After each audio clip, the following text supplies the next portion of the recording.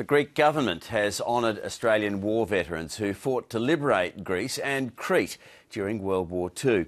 At a ceremony in Melbourne last night, it presented them with service medals. Some were presented posthumously, but as Lisa Maksimovic reports, other recipients were there in person, including one who recently turned 100. This week marks 72 years since Les Manning fought in the Battle of Crete, and his memories are clear.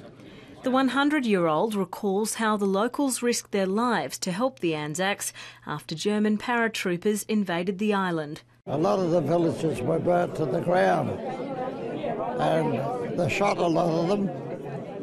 They, they still went on helping the Aussies all the time. All these years later, he was able to thank them at a ceremony honouring a dozen Australian veterans. You helped so many Aussies. Thanks very much. The battle in May 1941 is remembered as one of the strongest acts of defiance against the Nazis. Although Greece's largest island was eventually taken, the 10 day campaign proved the Nazis were not infallible. Les Manning tried to escape by boat. There was two Germans that had the boat. They were dressed similar to what we were. Of course, I walked down and patted me on my shoulder shirt. So they got no cigarettes.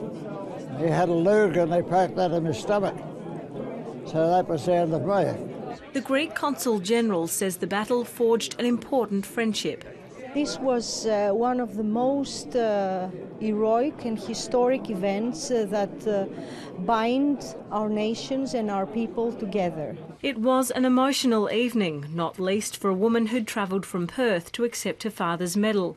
After telling the gathering she knew very little about his experience, she was approached by a 92 year old veteran who'd served with him. Much catching up to do. Lisa Maksimovic, ABC News.